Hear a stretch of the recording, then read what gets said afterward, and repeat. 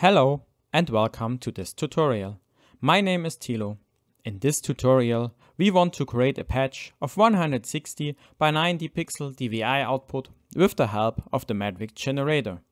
By the way, the Matrix generator is an easy tool to create patches with only one fixture type.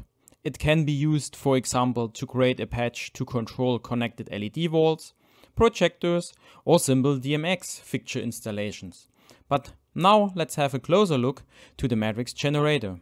To open the matrix generator, we navigate to Preferences, Matrix generator.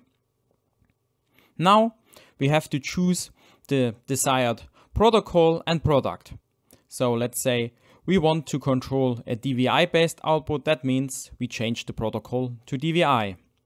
As product, we let the generic DVI 1 by 1 RGB fixture.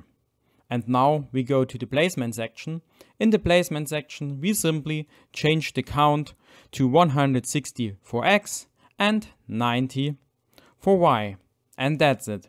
Then we click OK and you can see the patch is changed to the new resolution. To check the resolution of the previews and patch, we can enable the so-called status information. Simply click with the right mouse button in one of the previews and enable show status information. On top of the desired preview, we will find the status information now. Now I will activate a prepared storage place on deck A and also on deck B.